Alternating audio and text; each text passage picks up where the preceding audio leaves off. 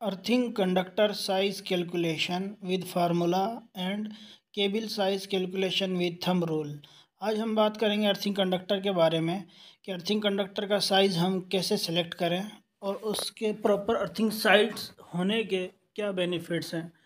तो आज की जो वीडियो है उसमें मैं आपको ये पाँच चीज़ें बेसिकली बताऊँगा कि अर्थिंग कंडक्टर प्रॉपर साइज़ का क्यों होना चाहिए थम रूल से अगर हमें अर्थिंग कंडक्टर का साइज़ कैलकुलेट करना हो तो हम कैसे कैलकुलेट कर सकते हैं? विदाउट द फार्मूला और विद फार्मूला अर्थिंग कंडक्टर का साइज़ की कैलकुलेशंस कैसे की जाती हैं? यानी किसी प्रोजेक्ट में हमें अर्थिंग इंस्टॉल करनी है, उसका साइज़ क्या होगा? प्रॉपर अर्थिंग कैसे होगी? उसके साथ आखिरी के हम एलुमिनियम का कंडक्टर अर्थिंग में यूज़ कर सकते हैं या नहीं?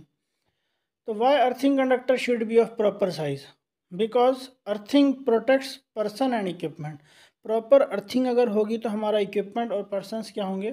सेफ़ होंगे। कैसे? कि earthing is use to conduct leakage current due to any abnormality यानी कोई कोई भी चीज़ लाइव फ़ेज़ ग्राउंड होता है या कोई भी किसी वजह से कोई अर्थ लीकेज होती है तो अर्थिंग कंडक्टर क्या होगा? उससे उसको पास करा देगा। तो प्रॉपर अर्थिंग होना ज़रूरी है। Therefore earthing conductor should be of proper size to prevent any safety hazard so अगर हम किसी साइट पे खड़े हैं, हमें कोई अर्थिंग कंडक्टर हमसे पूछ लेता है कि किस साइज़ का होना चाहिए तो एक प्रॉपर फार्मूला लगा के उसकी कैलकुलेशंस करने से टाइम हमारा लगता है कि हर वक्त। तो थम रूल से हम बता सकते हैं the thumb rule is earthing conductor should be of fifteen percent rating of power cable conductor यानी कि एक पैनल है, उसमें हमने पावर केबल अगर इस्तेमाल की है पचास एम एम स्क्वायर की तो उसके लिए जो अर्थिंग का कंडक्टर लगेगा हमारा, वो किस, कितने साइज़ का लगेगा? Twenty five M M square का। इसी तरीके से अगर पैंतीस की है तो यानी उसका हाफ़ होगा। तो what is the formula for earthing conductor size calculation thumb rule तो है, अगर आपसे कोई पूछ लेता है कि नहीं यार, हमें तो कैलकुलेट करके बताएँ कि फार्मूले से कैसे कैलकुलेट कर सकते हैं।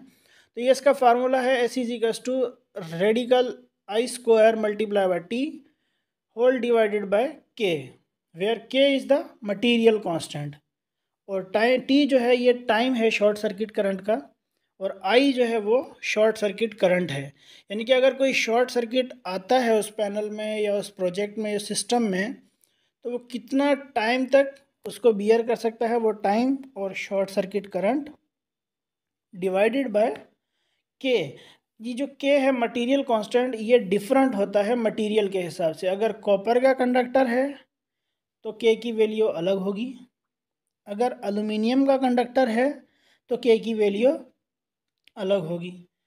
अब अगर हम इससे एक एग्जांपल के साथ देख लेते हैं कि हमारा एक आ, कोई भी एक इलेक्ट्रिकल पैनल है अगर उसका short circuit if the short circuit current of a system is 25 kilo ampere and the time is 0.5 second, what will be the size of conductor?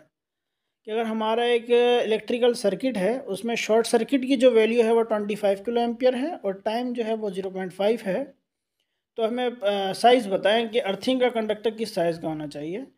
तो वैल्यू ऑफ़ जो के है, वो कांस्टेंट है मटेरियल कांस्टेंट मैंने आपको बताया था कॉपर के लिए जो के की वैल्यू है वो 205 होती है और एलुमिनियम के लिए 126 होती है।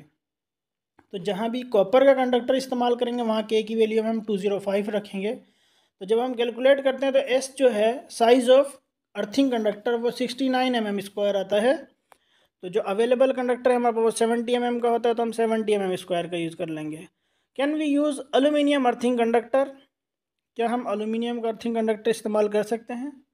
यस yes, हम इस्तेमाल कर सकते हैं बट जब हम उसकी कैलकुलेशन करेंगे तो उसमें जो के की वैल्यू है वो 126 रखेंगे, क्योंकि मटेरियल कांस्टेंट एल्यूमिनियम का अलग है।